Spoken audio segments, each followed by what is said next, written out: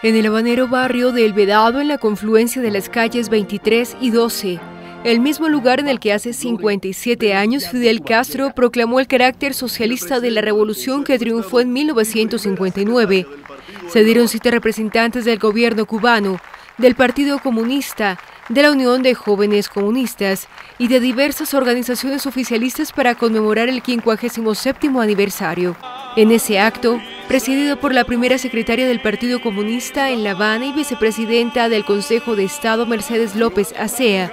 se rindió homenaje al fallecido Fidel Castro como líder de la revolución y de la victoria de Playa Girón, que Cuba exhibe como la primera derrota del imperialismo en América Latina.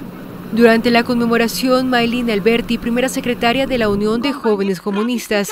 expresó el compromiso de la organización con la continuidad de este sistema político en vísperas de la sesión en la que se producirá el relevo en la presidencia del país. La juventud cubana ratifica su compromiso con el partido, con Fidel, con Raúl, con el legado de Fidel, de no defraudar jamás a nuestros mártires y ser fieles continuadores de sus ideas. Cuba abrirá el miércoles 18 su novena legislatura con la constitución de la nueva Asamblea del Poder Popular en una sesión que previsiblemente durará dos días y en la que Raúl Castro dejará la presidencia del país para cumplir con la limitación de mandatos decretada por él mismo.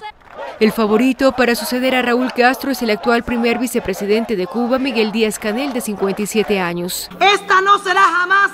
una generación de ruptura, sino de continuidad y defensa de nuestros ideales. Por eso la revolución cubana es una sola. Raúl Castro y Díaz Canel acudieron este lunes al aeropuerto de La Habana para recibir a la delegación que representó a la sociedad civil en la isla en la octava cumbre de las Américas celebrada en Lima. Los integrantes de esa delegación acudieron también al acto donde fueron homenajeados por los centenares de asistentes a la conmemoración.